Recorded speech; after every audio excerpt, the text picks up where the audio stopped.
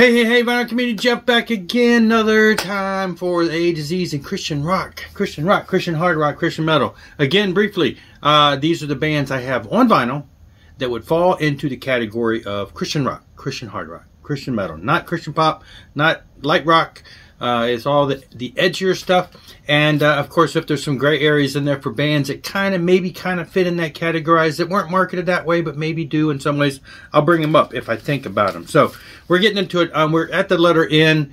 There was really one band with N. So I'm going to drop in the O's because there's only a couple band with O's, so this should still be short enough to go with. I looked at my N's in the CDs, and literally there's maybe three other bands that are in the ends, only one of which I think has any vinyl, and that would be Neon Cross, which I have yet to ever acquire a copy of. So the only band I've got is Narnia. They've got quite a few uh, releases. Uh, power metal, Swedish band. Uh, Christian Liljegren, I mentioned in the previous M's because he appeared in the band there twice.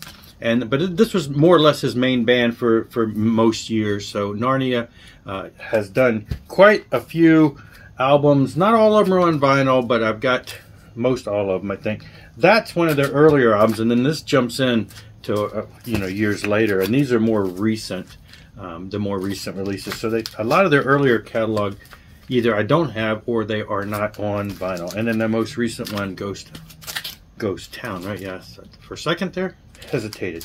All right. Then we're going to move into the O's. Now, this first one is one of the gray area ones of Gods and Monsters. The reason being is because uh, even though it is technically on a related label that does Christian music, um, what you've got here is you've got Deen Castronovo, who's you know used to be in Journey.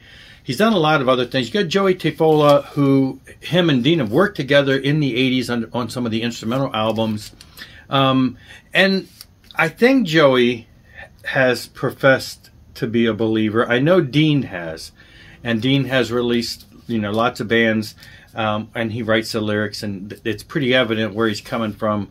He's got a lot of spirituality, a lot of Christian themes in there, and that goes without saying. Here, he's the vocalist here, and this whole album, you know, is uh, Sons of Armageddon. It's got a lot of that kind of stuff. But you've also got Tim Gaines, formerly of Stryper, on bass.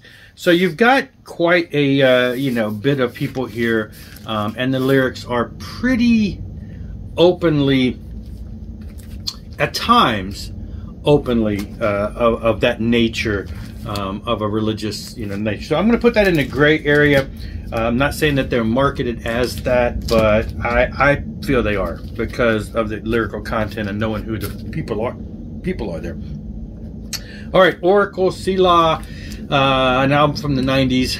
Power metal, US power metal. I think these guys are from somewhere not too far from me, like Georgia, North Carolina, I don't know. Um, the album was originally released on vinyl a while back by Rock Rocks, I think, and then it became hard to find. I think I got into buying vinyl after that, and it's expensive. But it was recently reissued on Alone Records, and I was able to score one of those just, I think, just last year.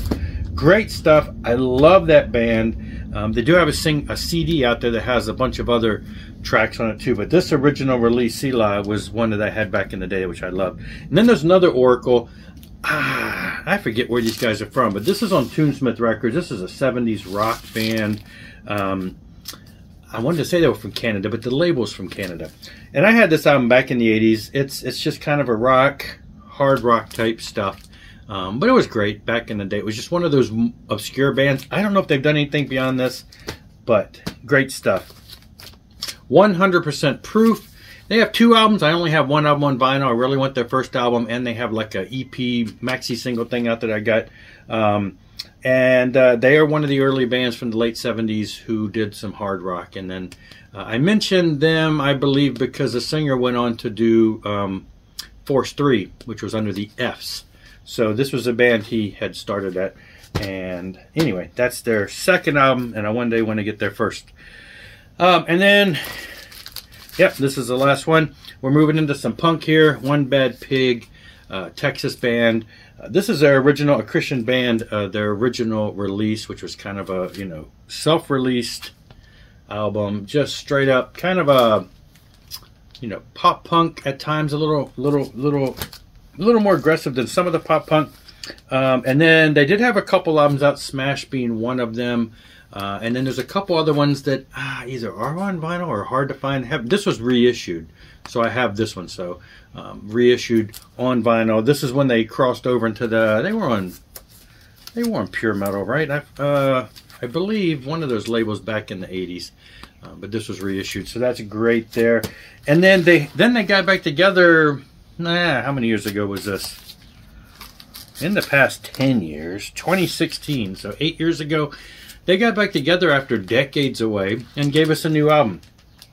Original singer, some, you know, an original guitar player, and, you know, some other guys in there. Um, and then this one was re released and it was autographed by the band because I bought it directly from the band.